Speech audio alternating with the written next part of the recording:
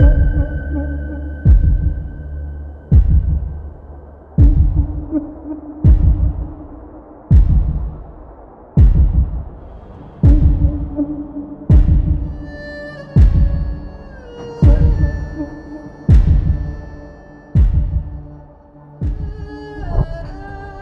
عليكم.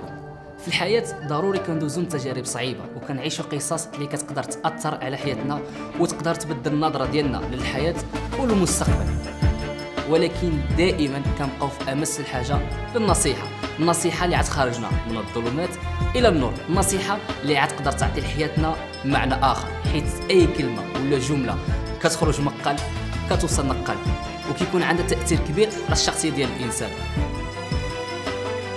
قريبا برنامج من القلب إلى القلب على قناة طنجاوي وإمام